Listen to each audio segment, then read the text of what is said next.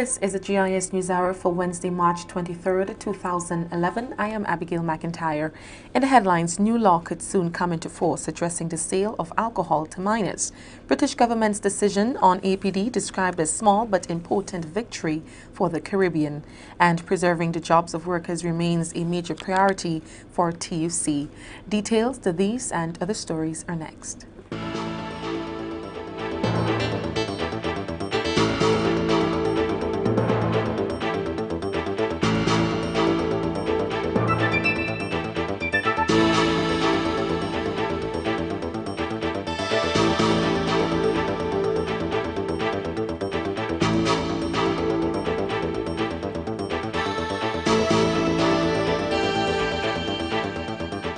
And saving the world in style. Join the Indian Cultural Organization of Grenada Inc. at the Moon Park Grand Dance in front of KFC on Saturday, March 26th in celebration of Phagwah Holi, the festival of colors. Celebration starts at 5 p.m. until 10.30 p.m. Chutney dancers and singers from Trinidad. Local artists Steve Theodore, song Changing and Saving the World in Style. Tangler, a group from St. Mark's for Indian drum and dancehall. Local dancers performing a spring dance to welcome the beginning of the spring season. Tassa Group, Children Entertainment, and many more surprises. Admission free. Lots of Indian food on sale. Do you really want to save on the cost of posting? Grenada Postal Corporation is the answer. We offer convenience, online tracking, reliability, on time delivery, and of course, unbeatable prices on express parcels and registered mailing. Ask about our online visa application and notification by email service. Grenada Postal Corporation, a member of the UPU, the world's oldest network. Send, receive, delivered.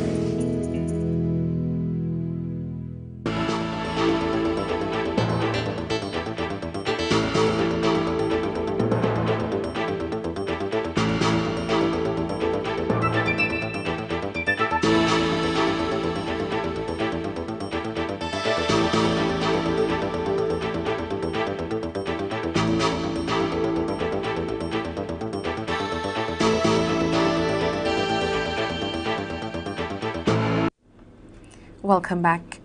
A new law may soon come into force that will address the sale of alcohol to minors, and it may even increase the age range for doing so. The Drug Control Secretariat in the Ministry of Education is developing an anti-drug strategy. The five-year plan will outline in detail how government organizations and institutions will implement stringent drug control measures. The Secretariat has proposed, among other things, that the strategy changes the current legal age for purchasing alcohol from 16 to 18. Grenada is not the only country going through this process, but other OAS member territories in the Caribbean. So far, the strategy is about 65 percent complete. Head of the Drug Control Secretariat, Dave Alexander, says the strategy will affect each citizen and changes will have to be made. There are things that the, the police would have to do, the customs, um, there are things that the media would be involved in. Um, there are things that the business places, for example, would have to look at because one of the things that would be um, coming in in the new strategy is the revision of the liquor license um, laws the laws that deal with the sale of alcohol, in particular, the sale of alcohol to minors. Mm-hmm. Now, in our legislation, uh, the, the, the, the, the age at which the legal age for purchase is age 16. Well, we have proposed, we have already proposed, not will propose, but we have already proposed to government that that age be raised from 16 to 18. Okay, so um, not sure what will happen, but this is the proposal that we have made and we are pushing. And so, should that come about in legislation, then the business places would have to be aware of that. We are also asking that if a person comes to your business establishment to purchase uh, an alcoholic drink and you're not certain of the age, you find they look young but they're not too sure, you can ask them to produce their ID photo ID which would have your photo and of course your date of birth. If they cannot produce that, then by law you are restricted in terms of selling it to that person. So there are some changes coming in that area. We are also proposing in law now that the sale of alcoholic beverages be uh, uh, be deemed as an offense at any school function. We already have that in terms of policy, okay. but we are now moving it from policy into law. Mr. Alexander says the strategy will ultimately lead to the further development of the people and country of Grenada. The strategy is coming to benefit our people. It's not just to, to, target anybody and to, to cut sales or whatever, but it's for the overall development of the country. And we, ha we have to bear that in mind because uh, when we have persons being um, experiencing medical problems, experiencing legal problems, etc., because of the consumption of drugs, it affects the nation because the nation has to pay. Yeah. As a government, as a country, we have to pay. And so we're seeking ways how we can uh, alleviate those problems um, from occurring and uh, developing. So the strategy is there to benefit us in Grenada and, of course, by extension, the region. Alexander says public participation in this process is critical to the success of the strategy sending your your suggestions. Um, we've had some excellent suggestions from a number of persons in the public. Um, for example, in raising the age from 16 to 18. This came from the general public. A number of meetings we had over the last year or so, and, and persons raised those concerns. So we want to encourage the public to continue to support us in this regard, to continue sending in your suggestions, your comments, and um, they would help us in this area. The strategy is it's a lot of work.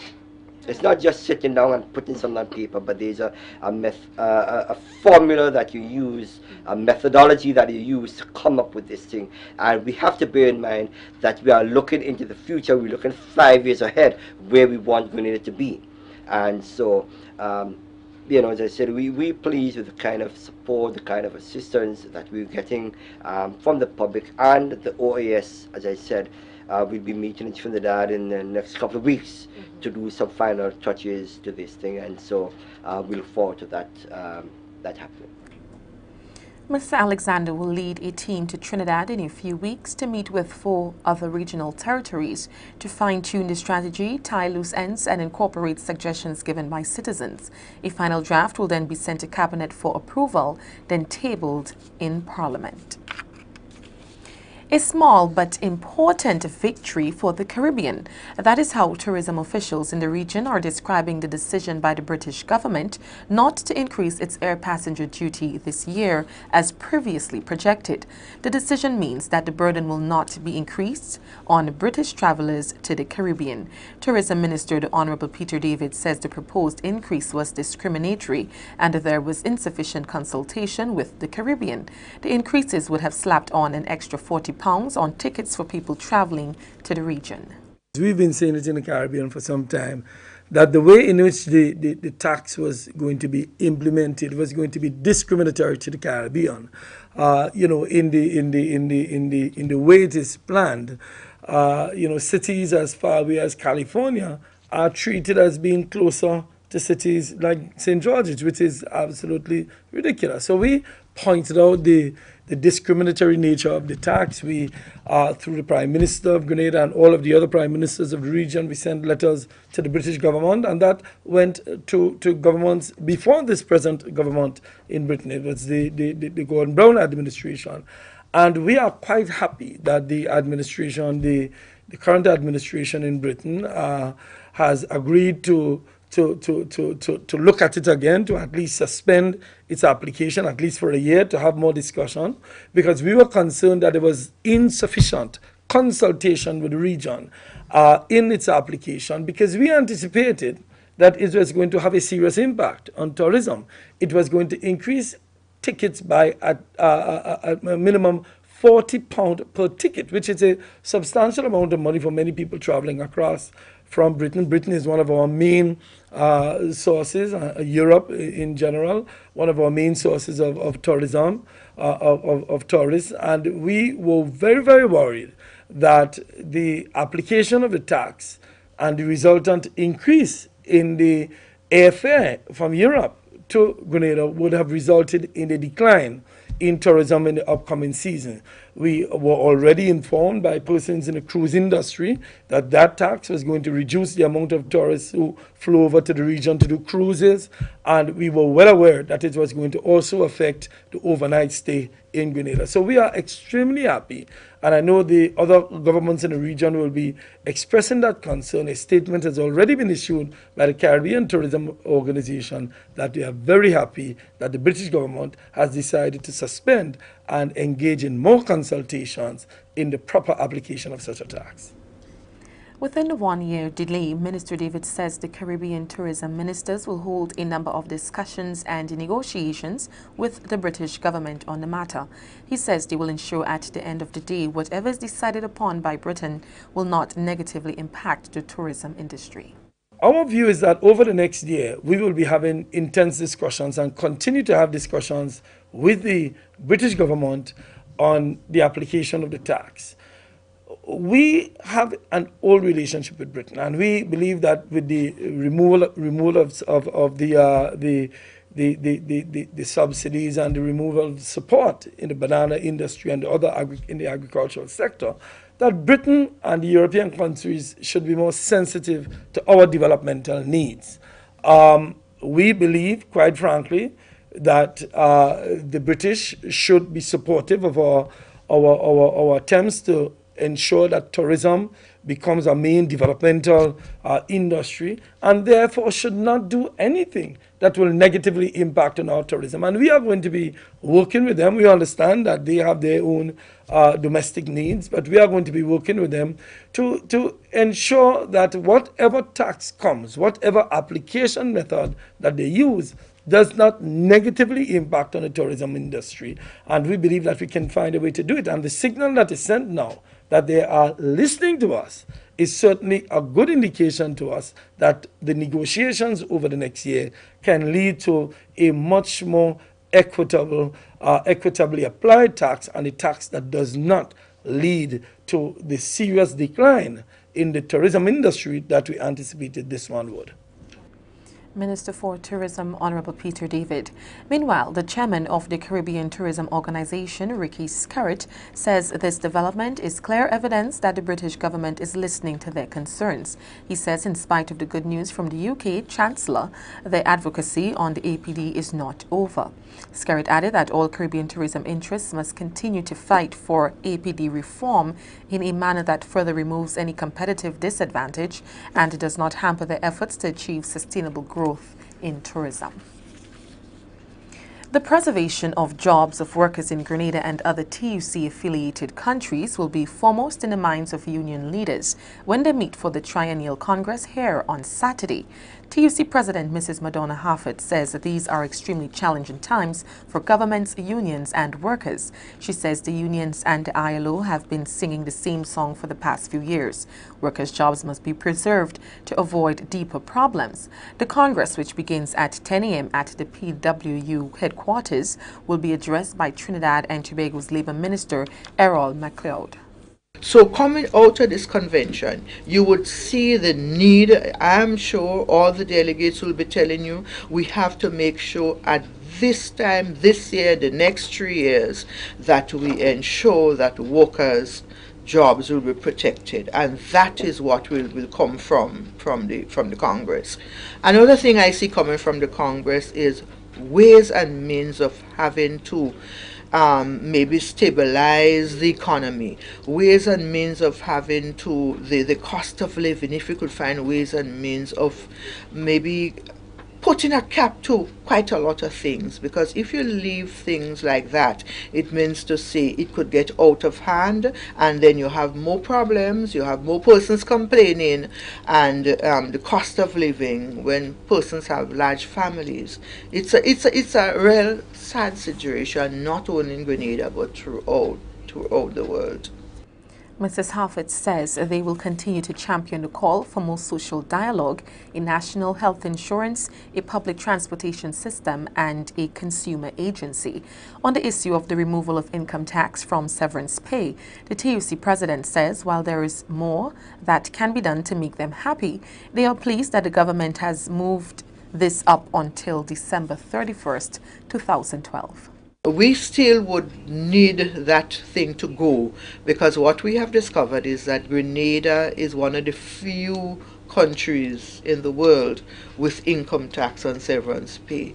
Most of the OECS countries, you get your severance package because remember, with severance package, you are out of a job. You're putting you out of a work. Mm-hmm. And um, it might not be the 20 year old one who Has going time. home yeah. Eh? who would have a lot of time and opportunities to look for new employment it might be those with 50. my age yeah, or your age, age. and um, at that age what really would you do so you have to see your severance package as my final lump sum my final lump sum in the workplace so how could you want to take income tax on that? Um, pension is not a taxable item. So we have to see severance in that light. So we'd want government to remove it completely. Saturday's meeting comes at a time when the OECS is still reeling from the collapse of both BAICO and CLICO. According to Mrs. Harford, Grenadians have suffered even more than other Caribbean citizens because they almost lost their life savings in SGL Holdings and Capital Bank. She says regulation is necessary and suggested that the Caribbean take a page from Canada's book because of its regulations to protect consumers and financial institutions. So we have to start to look to see what they did that we could really um, take a page from the book. Because if you have this sort of institutions operating without any regulation, it means to say when, when, when they collapse, you have thousands and thousands of persons who would not get one cent more than what your pensions are affected. There are some persons who waiting for the pension. They are in their 50s, their early 60s, waiting to go home. And what are we going to do? So at age 60, I am going without anything in my hand. So regulation is key. And we have to make sure that governments, OECS governments, Caribbean governments, put regulation in place to make sure that that sort of thing would never, ever happen in the region again. The Public Workers Union has a medical plan for employees, scholarship programs for children of members who have passed common entrance, and now is looking at children of members who have entered the T. Community College. At least three students entering TAMCC are given scholarships every year. Labour representative in the Senate, Chester Humphrey, is concerned that there may be a structural inherent deficiency within the public service. This was voiced when he supported the school's rehabilitation project phase 1 loan authorization bill in Senate on Tuesday. Senator Humphrey says there is a need for more information in some of the documentation presented before the Senate. One of the concerns of some senators was the unavailability of a list of schools that will benefit from the 10th 10.5 million US dollars that the Minister of Finance is seeking authorization to borrow from the OPEC Fund for International Development. Some public officer has to prepare the documentation to come before the Senate and to, out of Parliament. And it is either they are unaware of what Parliament requires, and here I will urge the clerk to get involved. Um, and when these things come to us, send it back to the respective department and say, but this is deficient in terms of the information which the Senate must debate or speak on. I, I, I, I, will put out a quiet challenge, but I'm not certain that anyone on the government side knows which schools and so on are to be refurbished. So they can't even play politics with it. Senator Prime, I'm certain, can't announce in Carriacou, well, I get in three schools, and this is what I've done. You know, so this deficiency it's not a deficiency of this current administration or a deficiency of the last administration. It's a structurally inherent deficiency within the service because I've been here through several different administrations and the same problem keep reoccurring and reoccurring. And I think this is where the, the, the clerk's office must come in. If I'm going to transit information to be discussed by the parliament, then Parliament must, it must meet a certain minimum standard of inform, information that Parliament can intelligently discuss these matters. And here again, I want to urge uh, the government's, uh, the leader of government's business um, and I don't, I don't want you to take up the challenge. Um, at least my um, suggestions might be accurate. Uh, or if you do have the list of schools, and you could be so kind as to graciously give it to us, of course we will appreciate that. But I think the difficulty is systemic, and um, the way to correct it is the way that I am suggesting. Farmers Representative Keith Clowden also gave his support to the bill, saying education is a fundamental prerequisite for the development of any society and the alleviation of rural poverty. But given the amount of money to be borrowed, he also thinks a list of the schools to be rehabilitated should have been made available to them. Madam President, when these bills like this one come before us, it would be far more productive if they give more details. And in so doing, we would be in a better position to debate these bills. Because, for example, I really don't know which schools are involved, what is the extent of rehabilitation, whether the money, how much money actually would be going to the school feeding program, sorry, um, how much funds from this $10.2 million, well, under institutional support and consultancy services and capacity building and institutional strengthening, there might be some overlap in there. I don't know. But this is what, what I'm saying, Madam President. If there's need to have more details so that we can engage in a far more productive way when debating these bills. When Finance Minister Burke moved the second reading of the bill during a meeting of the House earlier this month, he identified a number of schools. These included St. Mary's RC, McDonald College, St. Joseph's Convent St. George's, the Presentation Brothers College, the Grenada Boys Secondary School, the T.A. Marryshow Community College, and Woburn Methodist. Barbados is on a mission to promote its products in the OECS and its campaign has brought representatives of several companies to Grenada. A trade mission is currently being undertaken by the Barbados Investment and Development Corporation, facilitating a visit of as many as 20 participants. The March 23rd to 25th undertaken has the support of the foreign trade ministries of both countries. While here, representatives of the BIDC and the BMA will meet with various ministries, trade development organizations, chambers of commerce, and will conduct market research to further assist Barbadian manufacturers. The mission theme is connecting with the world through trade. The objectives will be to identify sources for raw materials, explore opportunities for trade, conduct product sampling, renew and form new trade linkages, and also to roll out a newly developed BIDC export brand. In other news, the Ministry of Agriculture is expecting a shipment of banana tissue to take the industry forward with large-scale production. Hundreds of banana tissue are coming from Israel and France and is due to arrive here in June, July this year. As it stands now, Grenada is importing bananas from St. Vincent and Suriname, something that is costing government thousands of dollars. But the ministry wants to change this by engaging a particular group of farmers in large-scale production.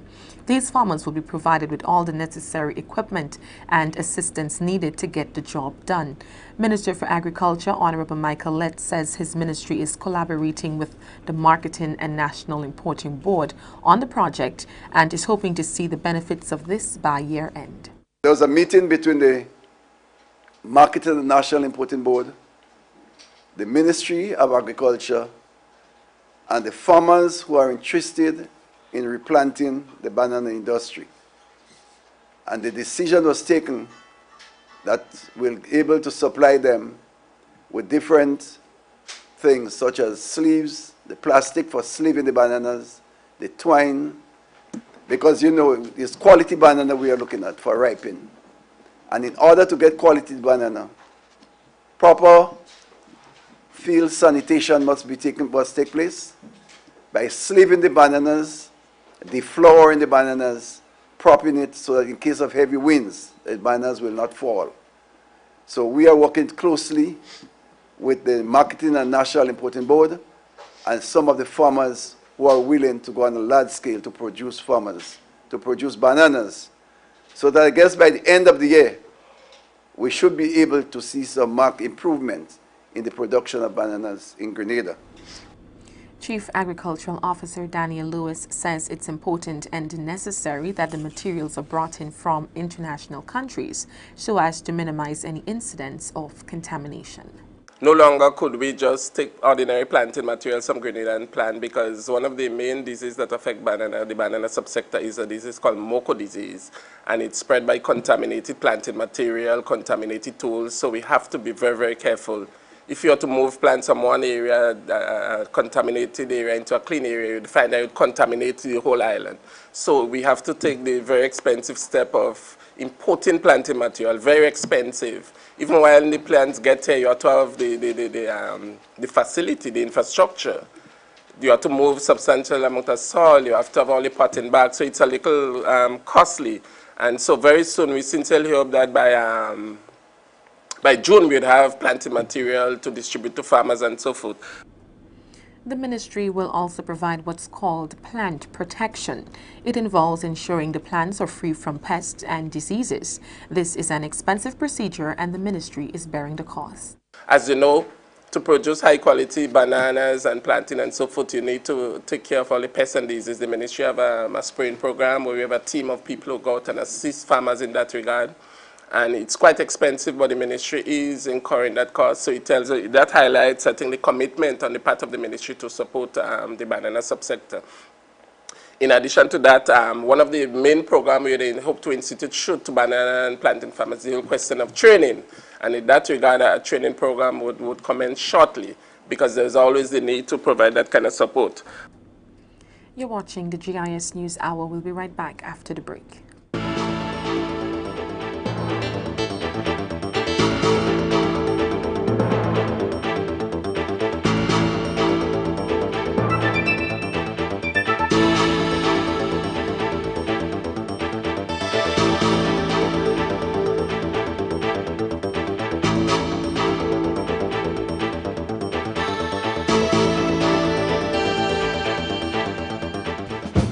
Is the second annual Peter Phillips Schools Drum Corps competition in collaboration with Maximalt, Friday, April 1st at the National Stadium starting at 2 in the afternoon. 10 secondary schools will be vying to take the title from the 2010 champs St. Andrew's Anglican Secondary School. Be there to witness Carriacou Combined, Presentation Brothers College, the Anglican High School, McDonald College, Mocha Secondary, Westerhall Secondary, the Grenada Boys Secondary School, Happy Hill Secondary, St. John's Christian Secondary School put on their best display to be crowned 2011 champs. Admission $5 without uniform, $3 with uniform. It's the second Peter Phillips Schools Drum Corps competition at the National Stadium. Friday, April 1st, 2 o'clock in the afternoon. Come support your school and drink a Maximalt. Start your morning with the Government Information Service. Tune in to GIS Spice Morning Mondays through Fridays starting 6.45 a.m. Spice up and brighten your morning with an informative television show with guests from a broad cross-section of society. You too can be a part of our Spice Morning. Call us at 440-2061 or email gisgrenada at yahoo.com. GIS TV Channel 12, your best choice for educational and entertaining television.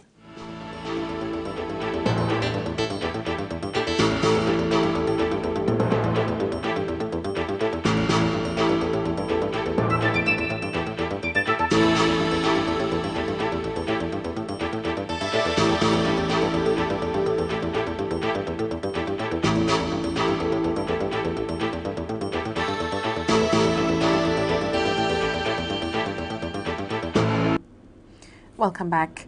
Commissioner of Police James Clarkson has reaffirmed his confidence in members of his force. He says Grenada remains one of the safest countries in the Caribbean, with much of the credit being given to police officers who perform their duties to the best of their abilities. As of now, these officers, this police force, this country, are one of the safest in the Caribbean, one of the safest in the region. And the only how this could be so is because of the professionalism of the officers, you know, because the um, interaction with the community. And long as we can get the community to work with us and the um, police the, the, the, environment, then this will be so for a long while because this is the only police force in the region that works this way with the, with the, the, the people in the country. Commissioner Clarkson's comments were made Wednesday in the latest in a series of island-wide inspections of divisions of the Royal Grenada Police Force. Wednesday's visit was to the St. John's Police Station. The inspections have several objectives. According to the Commissioner, they include gaining a first-hand understanding of the working conditions at police stations and reminding officers of their roles and of the RGPF's rules and regulations. These inspections that are taking place right now it's just a question of, it's one of the, means we use to discipline our people in the good turnout. We look at the living conditions, um, working conditions, and how they deport themselves generally, and give them a little um, beef up, so to speak, you know, encouragement to do their work, even though with little resources, but continue doing the work with the community.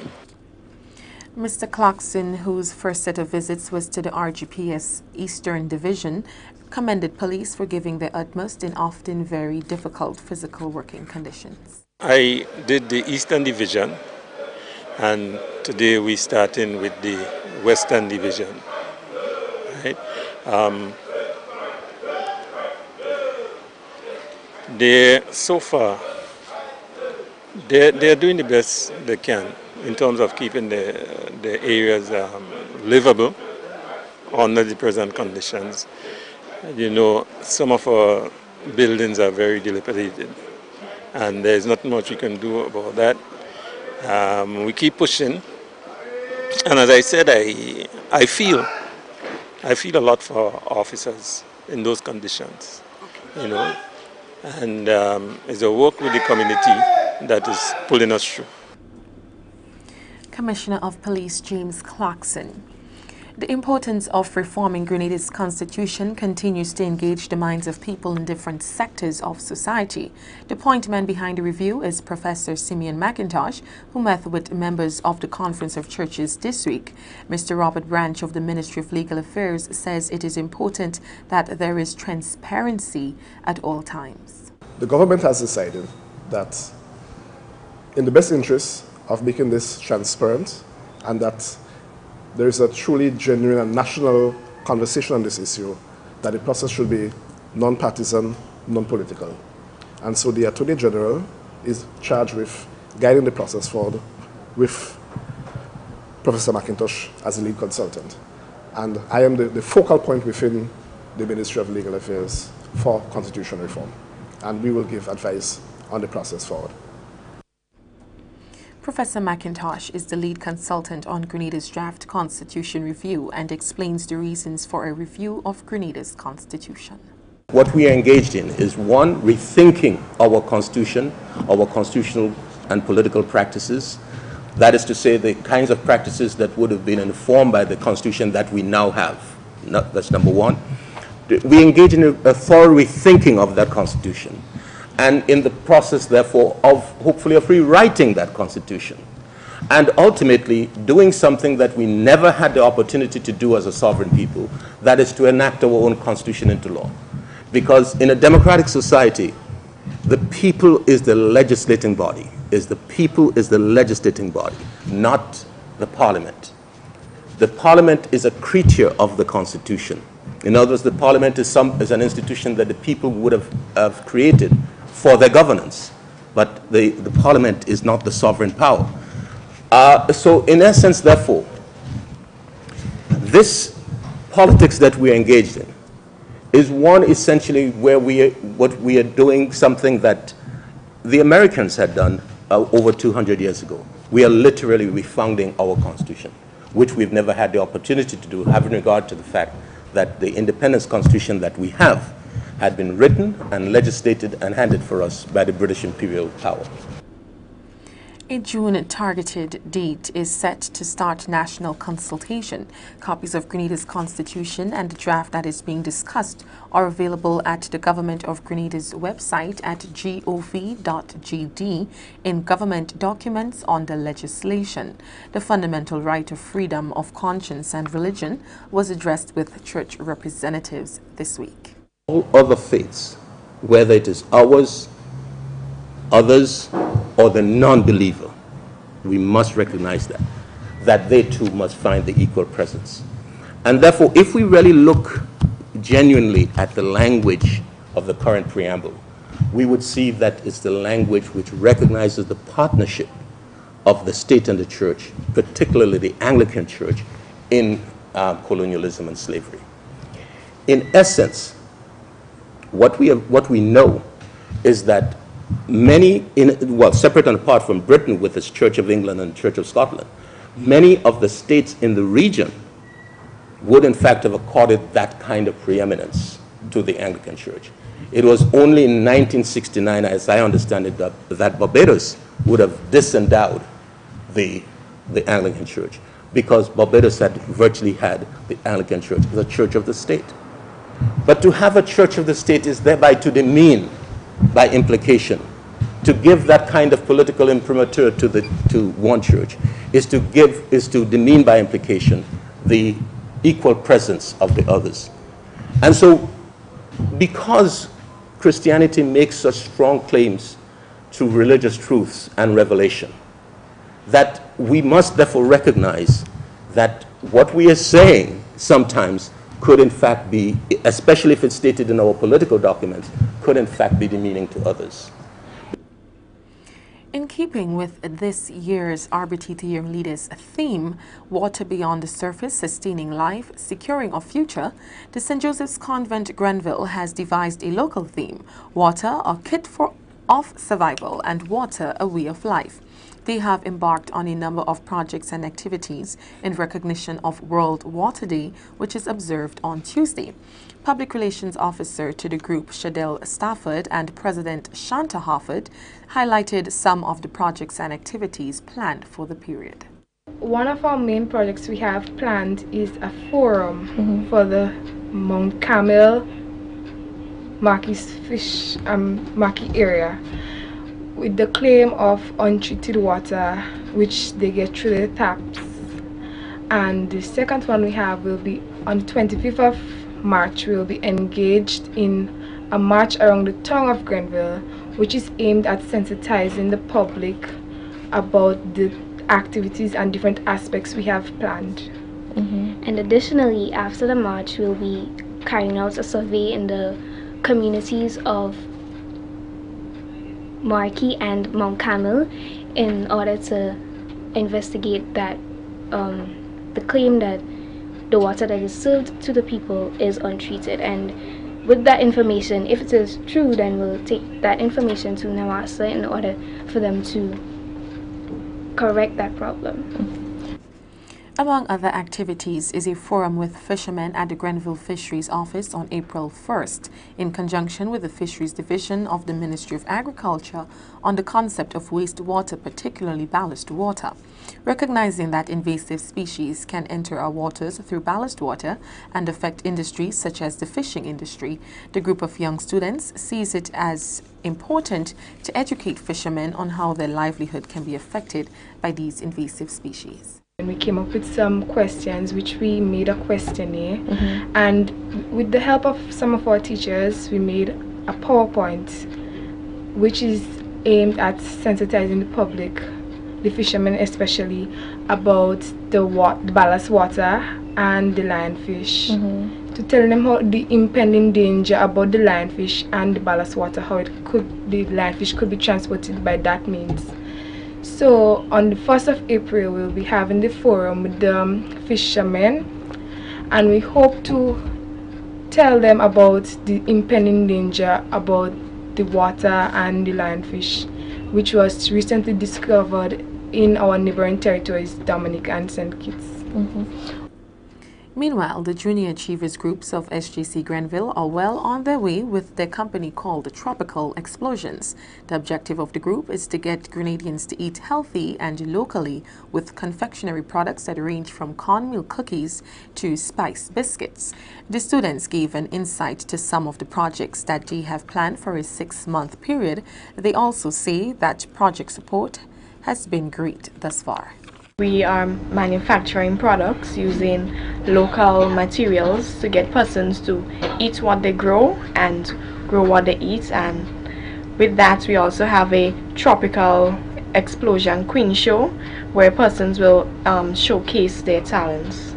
It has been going, been going well. Mm-hmm. Sales have been going really great. We are being, we get a lot of customers because we have unique products and um, we get a lot of support from people inside the school and outside the school, so it's been going great. Students from the Caribbean and other regions outside the European Union will find it much tougher to study in the UK under new measures announced by Britain. Under the plans which will be phased in from next month, individuals will need to provide even more proof that they are coming to the UK to study rather than work and must show they have the financial means to support themselves. Home Secretary Theresa May said the measures were, were aimed at rooting out abuse of the system. But the Shadow Home Secretary Yvette Cooper accused the government of trying to meet tough immigration targets by going after the economically valuable foreign students market. Former President of the Caribbean Association of Industry and Commerce, Nigel John, is calling for improved standards and productivity levels if CARICOM is to benefit from the Economic Partnership Agreement, the EPA, with Europe. Mr. John is also advocating for registration of professionals in Grenada in order for them to meet one of the criteria of the EPA. The EPA was signed between CARIFORUM countries and the EU in 2008. That's going to do it for news. Sports is next with Trevor Thwaites. Stay with us.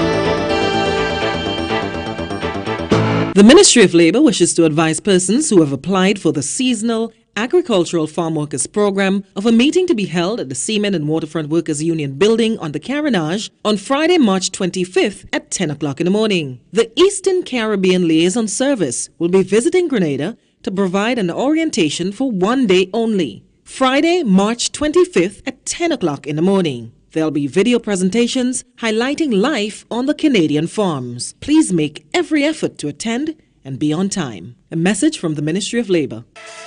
It's where the action is each and every Tuesday evening from 8 p.m. Join sports enthusiasts, those who play, organize, and follow the game as they discuss the issues that matter most in sports. Relive the action of sports and give your views. So let's make a date. Sports Forum on GIS TV each and every Tuesday from 8 p.m.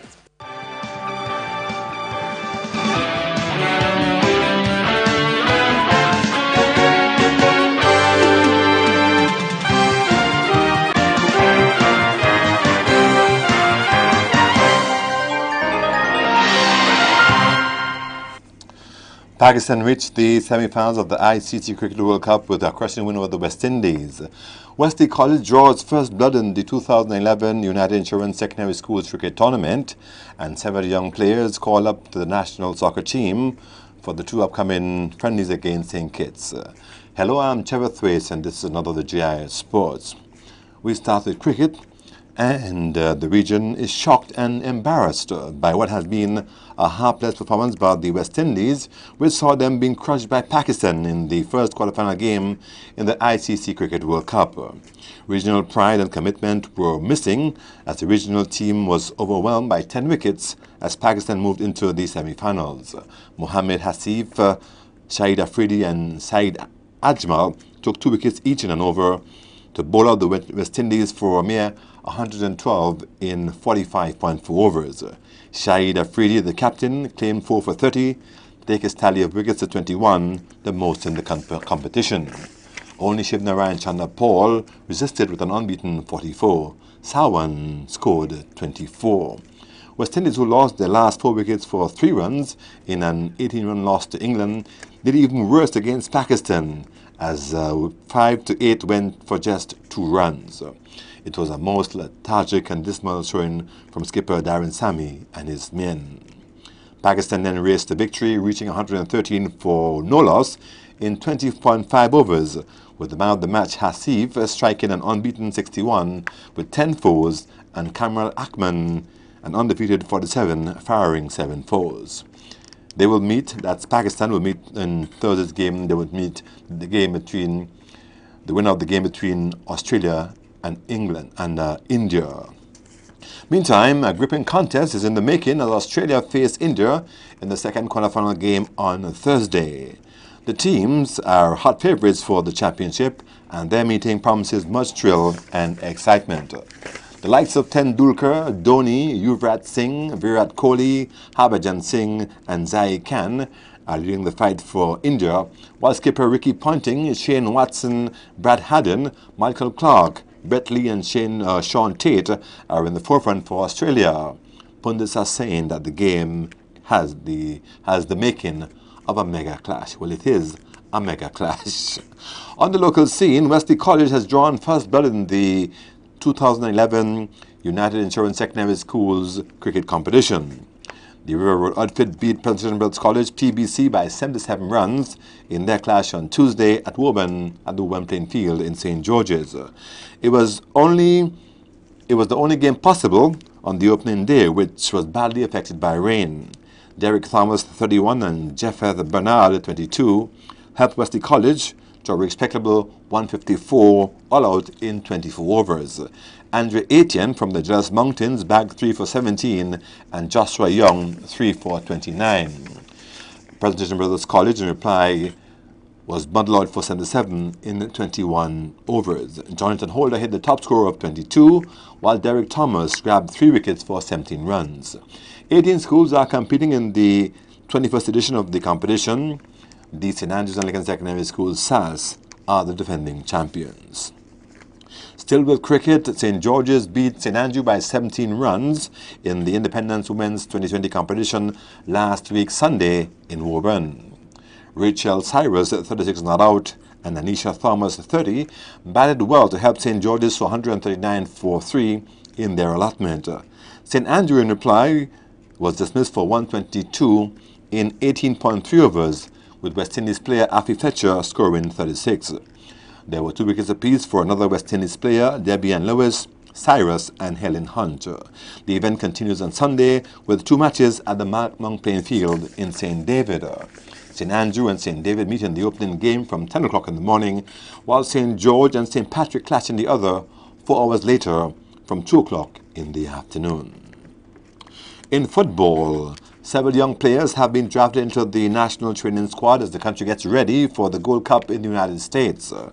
They are part of a 24-man contingent getting ready for two more matches against St. Kitts Nevis. Reports indicate that the team is training diligently for the upcoming matches with daily sessions which began two weeks ago. Among the young youngsters featuring prominently are midfielders Moran Phillip and Raquel Augustin from Carib Hurricanes, and Chevron, Chevron Sampson from St. John's Sports. Other talented newcomers are striker Denron Daniel from Hard Rock and defender Irvin Smith from Queen's Park Rangers. Coach Mike Adams says that the young players are bringing plenty of drive and passion to the camp. We now need, after this competition, to be ushering in the next generation. And that is why we've made a deliberate decision of working with our under 20s and under 23s in the camp today. It's brought an energy to the camp which has been much needed.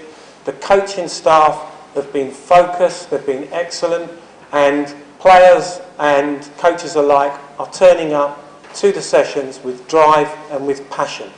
And that's my job to achieve that. And today I can only commend my staff and commend the playing staff for delivering on that 100%. Football coach Mike Adams. Uh, the GFA says that English based professional defender Cyrus uh, David Cyrus, who played in the 2010 Digicel Caribbean Cup, and newcomer striker Daniel Facey, brother of Delroy Facey, who also played in the last Digicel Caribbean Cup, will feature in the matches. The first game is in Basseterre, St. Kitts on Sunday, March 26, with a return fixture at the National Stadium in St. George's, uh, April 2nd, that Saturday, April the 2nd. After sharing the Windward Island Secondary School games in 2009 and losing it to St. Vincent and the Grenadines last year, Grenada is making a concerted effort to regain the title in 2011. Football and volleyball setbacks have caused the country dearly, and efforts have been made to address this. Earlier than usual training for the two disciplines are taking place this year in an attempt to give the country the cutting edge. Football coach Alistair DeBello says that training will start this weekend for football. In the past, we were fortunate that um, the national youth team would have been training and that would have been a plus. That has not happened in recent time and we think is one of the things that has led to us um, coming second in the last two years. Uh, so we are making early preparation. In fact, we attempted to start last weekend, didn't materialize, and we are going at it again this weekend. So probably officially we'll be starting the, the secondary school training this weekend and hopefully we'll take it from there as to what will happen there on. Some 22 players will be involved in the training. We are going to start with uh, 20 or 22 players to start the training and, uh, and as time goes, we're also hoping that somewhere along the line we get some little competition that we could fit the team in and that's why we are starting the preparation so early. You're going for the kill this time? Well, yeah, it's time. Um, um, two years we have not won. That that is sort of unusual in the secondary school football for for Grenada. So, and we also think that when football win is one of the sport that help the the competition to go in overall in our favor. And so last year we didn't win, and hopefully this year we will. Football coach Alistair DeBellet, uh, volleyball coach Raphael Nanan Braffett also believed that an earlier build-up will make a difference in the performance of the volleyball team. He said that a program has been undertaken to have the players in top condition for the event. As you know, for the last three years, we have been doing well in the um, in the school games. So this year, what um, what I'm focusing on is to select a team early and um, to really go into that school games and do well. Because over the years, Trevor, to be honest, we have one of the better team, but I just know we just cannot win. And I think one of the main reasons is that we don't um, have enough uh, match preparation. But this year, we want to get um, like when the um, Grenada Volleyball Association having a competition, we'll select a school team to go and participate in that competition. So right now, I'm working on a team for that competition volleyball coach Raphael Nanan Braffett. And finally, news of uh, netball wins for down the road strikers. Mount Roach Unstoppables and Wesley College on Tuesday in the opening matches of the Margaret Dow Knockout Championship in River Road. Down the road strikers got the better of Anglican High School, 31 goals to 14, while Mount Rush Unstoppables defeated Wesley College 30 goals to 19 in the senior competition. In the junior event, Wesley College beat uh, Mount Rush Unstoppables 25 goals to 8. The action continues Wednesday with Jet Stars meeting down the road strikers in the junior division, while New Hampshire strikers tackles Vincent's Mustangs and the Vendome taking on AGD Tempe in the senior division. That's sports. I'm Trevor Thwaites.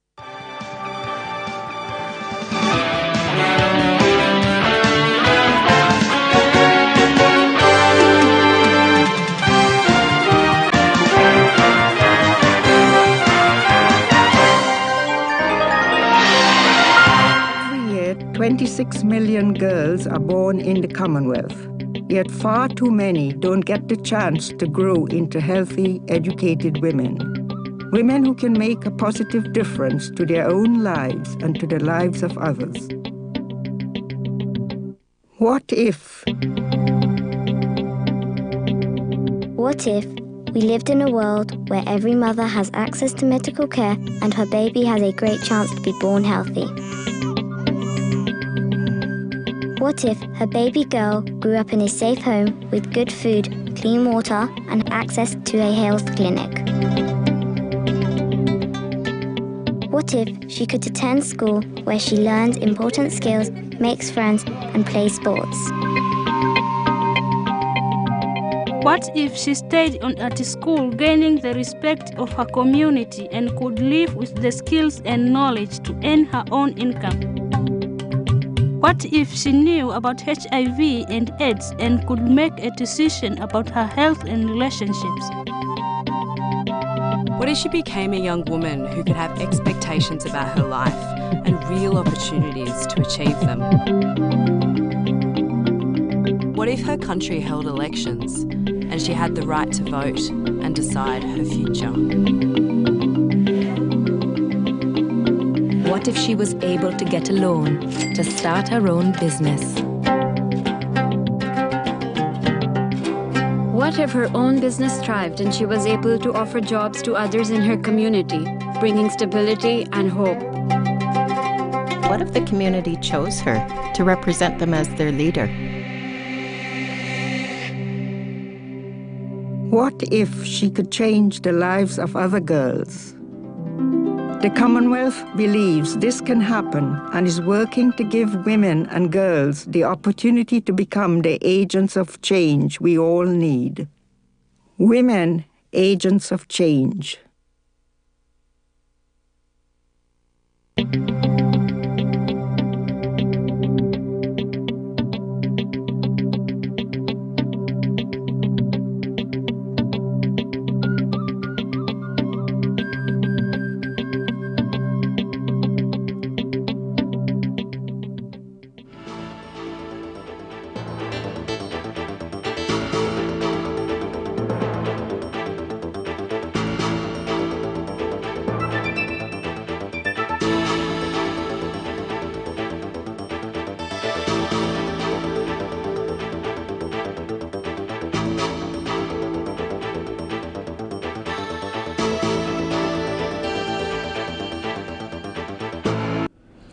Welcome back. Thank you, Trevor, with this evening's sports segment. Before we go, here's a recap of the stories making it in the headlines.